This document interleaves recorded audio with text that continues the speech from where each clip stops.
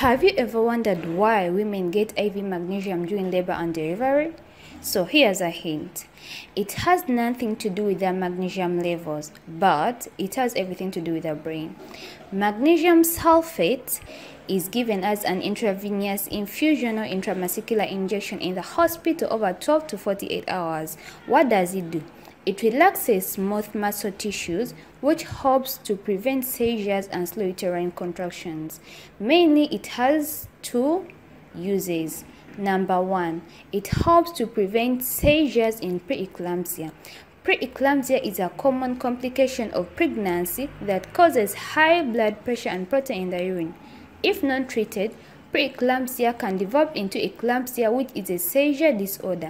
The only cure for preeclampsia and eclampsia is delivery of the baby. But magnesium sulfate can help prevent seizures in women with severe preeclampsia. Secondly, it helps to protect the brain of the preterm babies. Premature babies or preterm babies, especially those who are born before 32 weeks, have immature brains at birth. As they grow, they are at a risk for cerebral palsy. Cerebral palsy is a disorder that affects movement and intelligence. So, short term infusion of magnesium sulfate has been shown to help protect the baby's brain by reducing incidence of cerebral palsy.